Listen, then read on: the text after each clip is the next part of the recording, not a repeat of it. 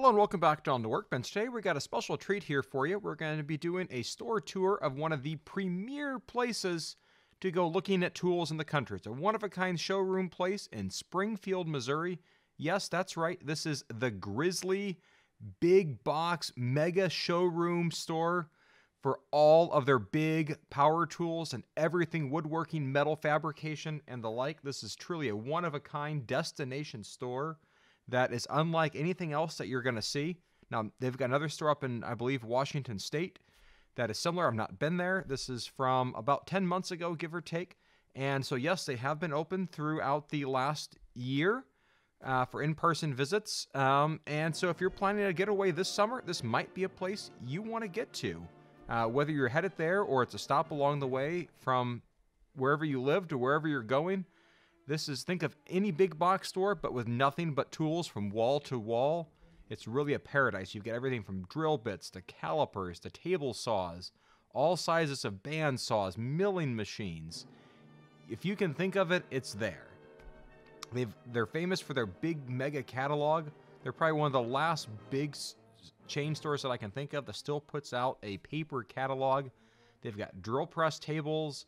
Now, a lot of this equipment, from what I can tell, and I think you can tell too if you look around, you'll recognize some of this looks very similar to other uh, imported tools that are sold at uh, Harbor Freight, but they've got quite a wide array of tools.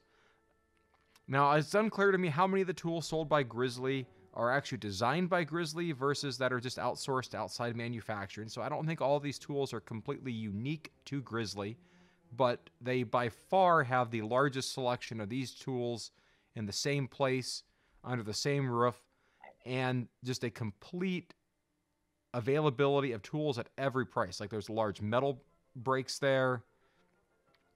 We've got band saws, just all sorts of exotic tools that there's not a lot of stores around that deal with all these esoteric tools, regardless of anything else. So their trademark colors or their trade dress is this cream and white, I'm sorry, cream and green color. But they've got a lot of other brands you might recognize. Like here's some Freud, Diablo. Uh, there's also Milwaukee and DeWalt in the store. There's Woodpeckers. So there's all sorts of accessories. There's Forrest blades there at the high end, woodworking blades. That this is a store that really sells everything that you'd ever want if you're into woodworking or metal fabrication or fabrication in general. There's things like a little kid's pond, uh, some animals that hunters have caught. That there's just a amazing selection of what you can get there. Table saws, and look, there's even got a little tool chest underneath there grizzly bears hidden around, kind of their namesake, if you will. And so there's just so much to see here. You got table saws, and you can find table saws at every single price point. Table saws that are worth more than your car, table saws that are worth less than a car. All the accessories, there's a $750 sliding accessory for a table saw. That any exotic type of table saw, they have it on display here you want some exotic accessory that you want to look at and you want to see, well, chances are they have it as well too. So if you're on the fence about wanting to buy some exotic woodworking uh, equipment before you make the investment, you can go over there in store, take a look at it. Uh, at least if they have it in stock, they don't sell everything here. There's also SawStop. So you get all your major brands all put together, you know, and all pieces. That it's you're not going to find this at other stores. You're just going to see just a few of these items sitting out, and they're going to probably tell you special order only. Well, but if you're unsure and you don't want to commit to that special order, well, that's where Grizzly comes in. That Grizzly has a lot of this all under one roof. You could probably spend 45 minutes to an hour just walking around the store. Now, it's not hard to find your way around. The store shelves and fixtures don't go wall to ceiling. They don't treat it like an IKEA where it's a maze to walk through but you want wood turning accessories, they've got them there too. You want jointers? How big of a jointer do you want? They've got jointers of all shapes and sizes and lengths and widths. How many cutter heads do you want? You want belt sanders? Do you want in-feed sanders? Like you've got there that, you know, those are perfect if you're doing an, an end grain cutting board because there sure is, uh, I sure hope you're not going to be putting that through a planer Uh, we've got edge belt sanders here. And these tools here are at a wide variety of price points. You're just not going to find this at a Lowe's or a Home Depot or any other store, a Rockler of the like, that this is just all of those put together into one. Now, it's probably at least worth pointing out here as we're going around here in the footage that not every tool that's sold by Grizzly is what I would consider to be the highest quality tool. Whenever we get to their handheld 18 volt or 20 volt max lineup, that those tools are probably where I would go, maybe that's worth a pass, and that's where it's a little bit more in the Harbor Freight category. But here, we got Milwaukee tools here, M12, M18, corded sawzalls, and the like, but they cover such a wide variety that there's something for everyone here. And I think one of the hardest parts about going to a store like this is making sure that you leave with your wallet intact because it's very easy for your wallet to get drained very quickly by something. That here we go. Here's their so-called pro line of cordless tools. Um, from playing with these and handling these, these seem like they're just kind of meh. That the Harbor Freight line of Bauer is probably a better bet for you than what these are. I mean, if you're in the platform, that's great, but in my opinion, this is such an esoteric battery platform that it's hard for me to really get excited about it. They've got a handful of tools. I just don't see the support for this uh, being much greater than what uh, where they're at now. But as far as all the other tools that plug into the wall, like you're gonna find it here, and the accessories that go with them. And Grizzly's been around for quite a while, so that's one of the other things you've got to go with is that, you know, Grizzly is not a complete fly-by-night company. I know you may not have one of these in your backyard. This is not in my backyard. This was uh, a stopover on a trip. Uh, headed to a family wedding last year, and I made it a point that I wanted to be able to stop and see the place and share it with you guys because this store is just really, really cool. So there you can see some wood turning displays. They occasionally do have some in-person demos and exhibits that you can see people do. That's going to vary by the year uh, and the schedule of what they've got going on. So you got clamps and wood turning, all sorts of various clamps, a full line of Bessey clamps, wood turning tools, all sorts of gouges and exotic gouges. They've got other bits of exotic woods that you might want to use for wood turning, dust collectors, various stages of dust collectors with cyclones, filters. Here we go. We've got more clamps. You can't have too many clamps, right? And chances are, if you, there's some clamp situation you're not sure of, they probably have it. You know, one of the good comparisons I think of for the store is McMaster. A lot of me- uh, mechanics will have that McMaster or the McMaster-Carr book, and that has just a little bit of every bit of mechanical fastener that's virtually available. Well, this store kind of has the same thing when it comes to power tools or woodworking tools. So here we go. Here's some Porter-Cable tools. I know they've kind of slid down market a little bit, uh, but the routers, you can't beat a Porter-Cable router. That's kind of been the industry standard for years.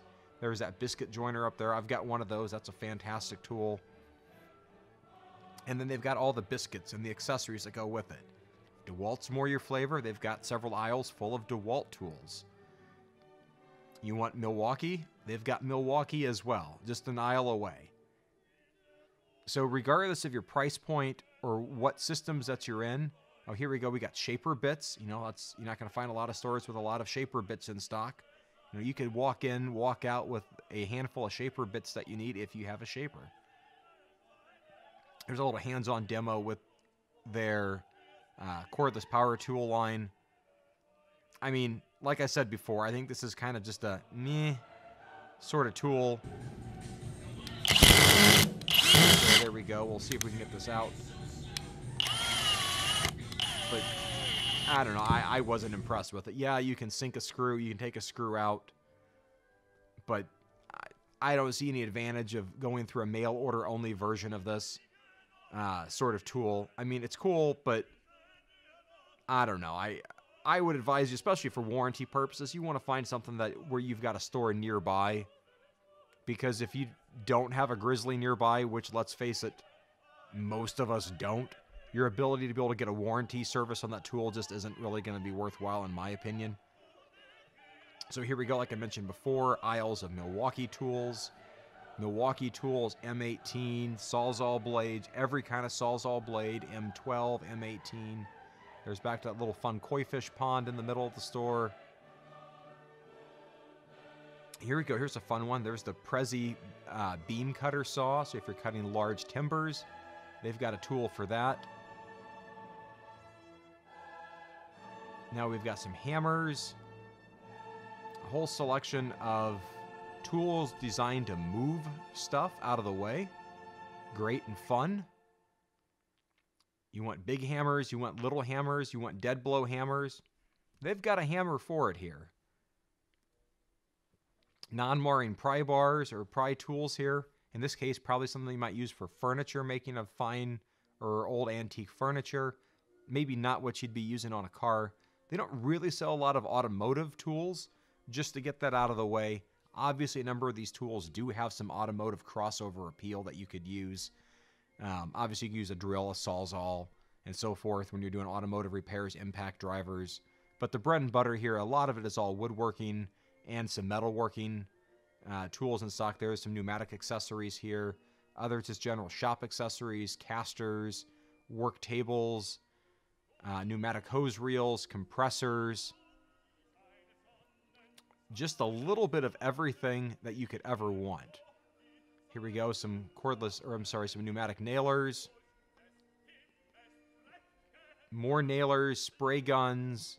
You know, I, I know there's a big revolution of trying to get battery powered everywhere, but pneumatic nailers and pneumatic tools still deliver quite a good value for the dollar. And there's some tools that just can't be replaced with corded tools. Or I'm sorry, with cordless tools like a die grinder. I mean, yeah, it kind of works but what about the air hammer? There's not really a battery powered alternative for that. And just for the cost and the weight, you know, you can't go wrong with a pneumatic impact driver. But now over here we got some blast cabinets. We got these fun little conveyor belts. So if you're breaking down sheet goods, yeah, they got some great tools for that too. You know, you're not again, this is the fun stuff that at least I think is fun because you don't see this in every single store that you go to. But then back over here, as I go around the corner here, this is their, uh, I believe this was their scratch and dent section, if you will, where they've got some one-offs or remaining deals that they've got. Uh, some of these might be displays or returns or something else that's not the full price. And so again, some other interesting tools here. So if you've got a truck and a trailer and you're able to show up in the door, you could possibly walk out with a pretty good deal if one of these tools happens to be available. I think most of these are probably in the first come, first serve category. But it was interesting the day that I was there, there was probably about five or six guys that had trucks and trailers uh, with license plates from five or six different states that were several states away from Springfield, Missouri. And so clearly people are willing to make the trip in to come to the store, kind of like going to IKEA as a destination for families.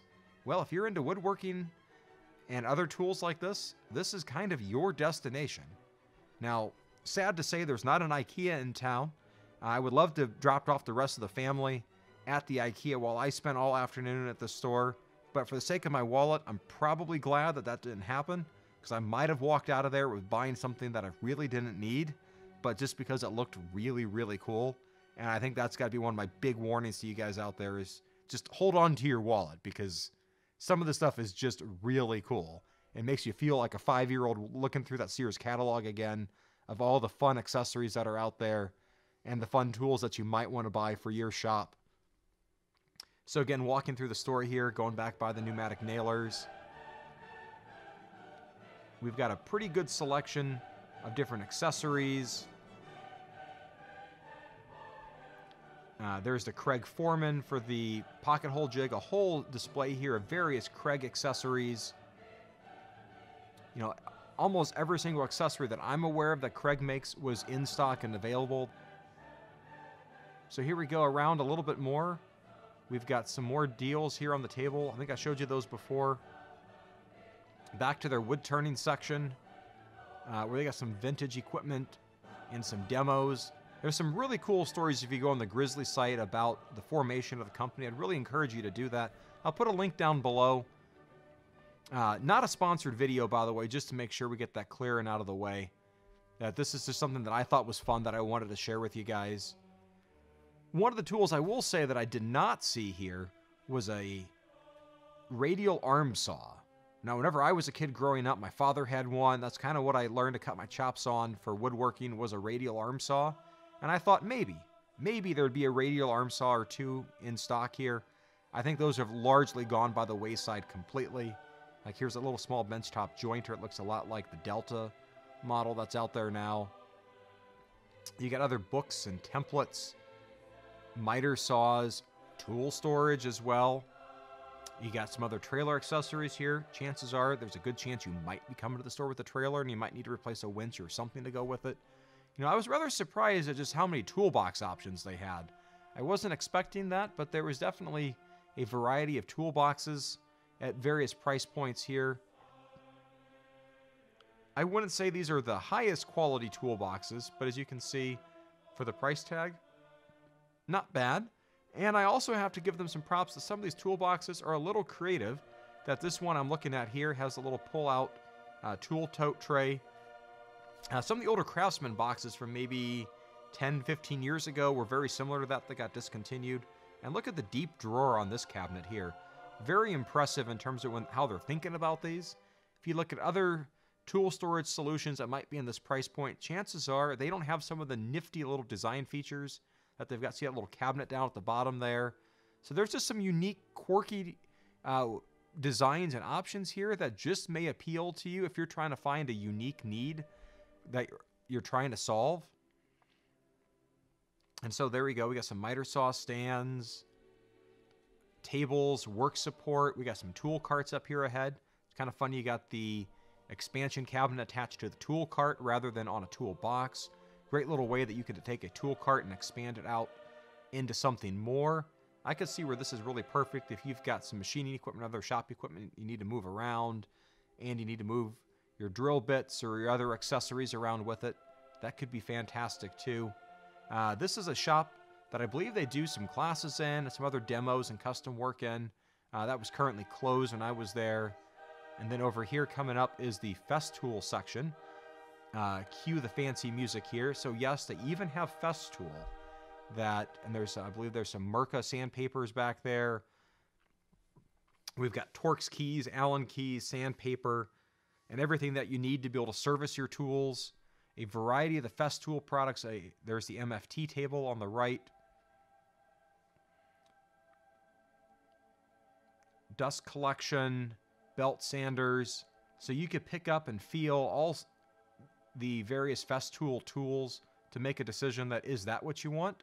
You know, like for example, these Festool drills. I mean, I've seen them, but the chance to actually put my hands on one makes me go, wow, it's really expensive, but it's kind of hard for me to justify, and I don't even think it feels that great.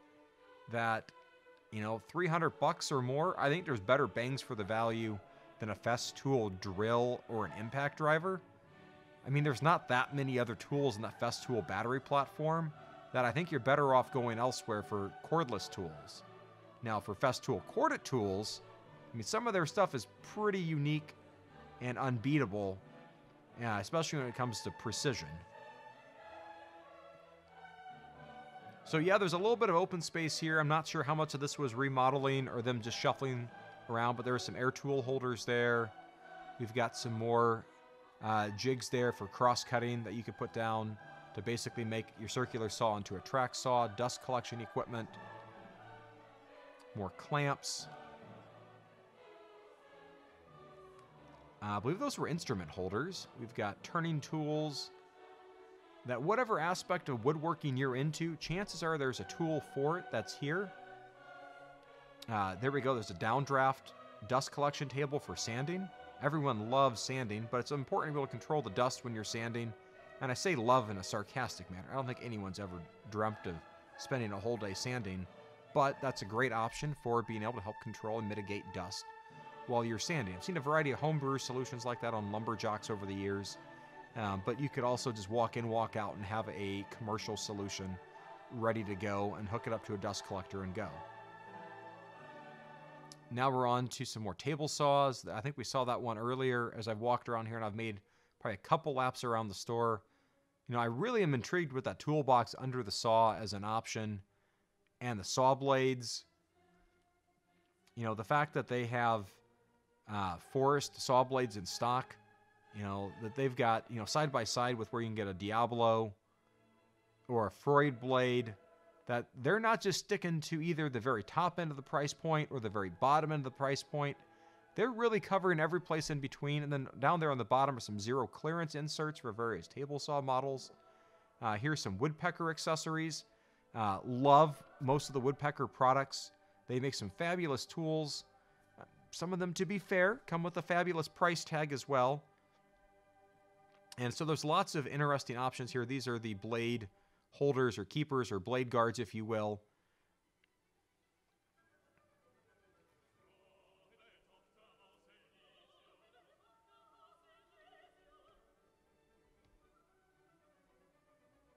I think we're going to cut this piece right here.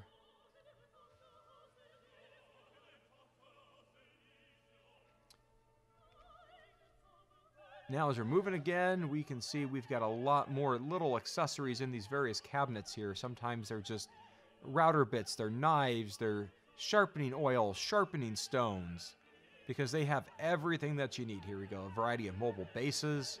Now, I've always been surprised at how often these mobile bases are not included with tools. Here we go, a bunch of specialty extension cords, 220 power adapters, to be able to convert various of the 220 plugs to make it work with your tools.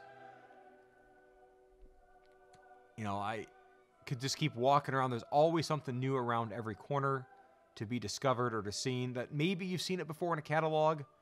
Maybe you've seen it before looking at it online, but there's just something about being able to see it in person, touch it, feel it, stand at it. You know, is this tool at the right height for me? And I think that's one of the biggest uh, issues for some tools is that they're just the wrong size for certain people. Now here's their kind of value bin tool section here. Some decent deals here. You know, some clamps and some other basic tools. I wouldn't say there's anything fancy here to get that excited about, but some decent deals nonetheless. Uh, drawer slides, you know, that's where some projects can start going off the rails when it comes to prices for how expensive their drawer slides get you know, it's great to see them, you know, having a few products here on the sale. And like I said before, you know, it's really easy to walk out of here, you know, a few dollars lighter in your wallet. Some nice little lamps there for a workbench that you're building. You know, those little finishing details that can go a long way towards taking a good project and making it into a great project. Anvils for metalworking, workbenches, work tables. But like I was starting to say before, is that one of the things I really like about this store with some of these various tools is the ability to kind of get a feel for just how high is that tool and is that comfortable for you? Are you especially if you're taller or you're shorter or even if you're average height, that having a, the right tool at the right height can really go a long way for determining how comfortable it is for you. And that's the kind of thing you just don't get looking at the internet or looking at a catalog. That being in store, being able to put your hands on it, stand in front of it, you know, mimic uh, material passes or moves? Just how does it feel? Uh, how do your wrists feel? Those are those little details that are so invaluable that if you've got the opportunity to just, or you've got any doubts about anything, check it out. Right here, here's another fun tool here. You got some trees in your backyard. Go ahead and mill them up and turn them into lumber. Obviously, you got to let them cure. There was a Kreg track saw there. Some more interesting cabinets for tool storage here. Looks like stainless steel. I mean, to me, that cabinet there looks like something if you were doing a commercial kitchen would fit in just fine. More cabinets, little mini workbench, split top workbench there, or clamping workbench there. Reminds me of a Black & Decker workmate. Just all sorts of tools. And so I hope you've enjoyed this look around the Grizzly store. I've enjoyed bringing this to you. It was a lot of fun to be there. If you're passing through Springfield, Missouri, I would highly encourage you to take a stop by the store walk around, spend a couple bucks, and it's worthwhile. Thanks for watching. If you got any other questions or comments, put it down below. I'd love to hear about it. If you have any products from Grizzly that you've ordered, that you've bought, or if you've been to the store, uh, please share it in the comments below with the community. We'd love to hear about it. Thanks for watching. And if you haven't subscribed already, go ahead and subscribe, give it a thumbs up, and have a great day. Bye.